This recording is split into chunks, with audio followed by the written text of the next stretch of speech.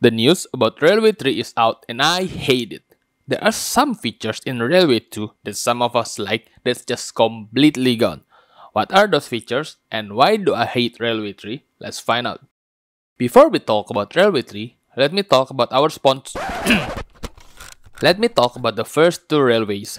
In short, Railway 1 is 13 station where you and your 5 sinners of your choice battle to find the shortest turn possible.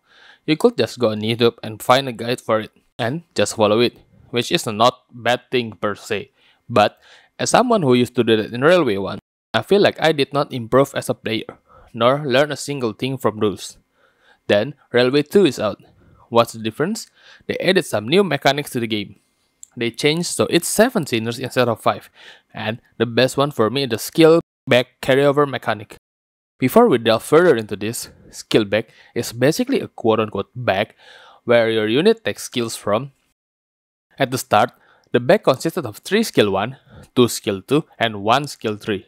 And you take the skills one turn at a time until it ran out and it reached for another back. Easy right? Okay, back to the topic. Railway 2 have this mechanic carry over to each boss, so it is less of an RNG and more of a skill. It adds a layer of complexity to the game, since you have to strategize your unit and not just blatantly spam good skills. It also makes your team and the enemy speed the same, so you can't roll for speed RNG anymore. This made Railway 2 quote unquote harder since people can just blindly follow a guide because there are so many variables come into play now. Then, they added for some the worst mechanic of all time. Loops. Loops make it so there are replayability to the game and make the game have two kinds of goals. The usual low turner and the new high cycle chasers.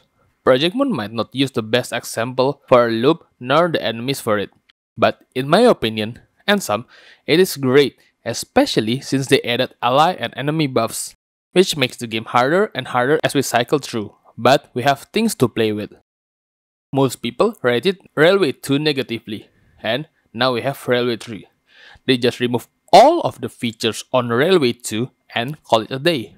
Well, not really, since they add several things, which I think is a good thing. First of all, they made pit stops, where you can heal HP, and SP, and even change your units, which created rooms for experiments and creativity. They even added the ability to go back to a certain boss, if you feel like you can improve the run.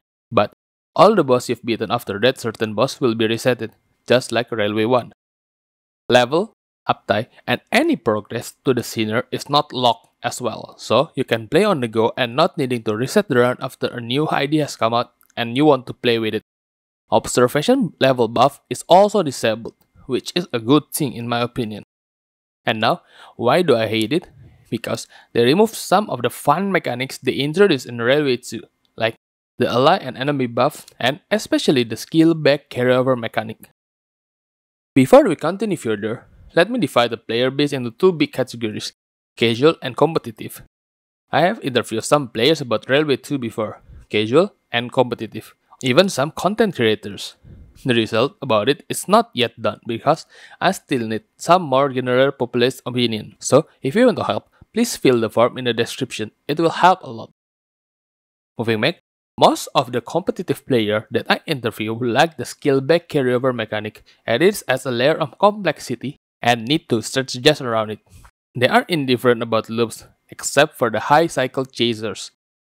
Most of the casual player that I interview despise loops, especially the boss at the start of the loops such as Talisman, the Steam Transport Machine, and Fox.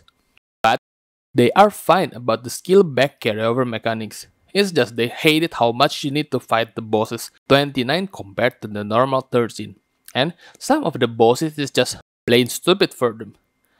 In all of my current responses, which is not a lot, there have been no mention of skill back mechanic being bad whatsoever. People who mention it actually like the skill back carryover mechanic.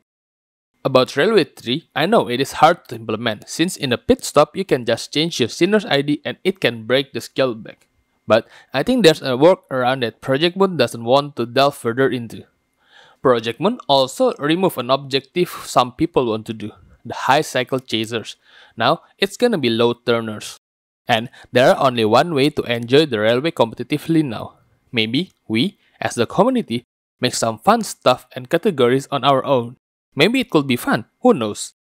There are more that I want to talk about, but we'll have to wait until Railway 3 is out and we test it for ourselves.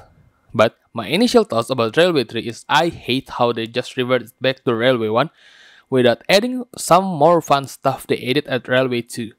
But that's it for this video. Hope you enjoyed. It.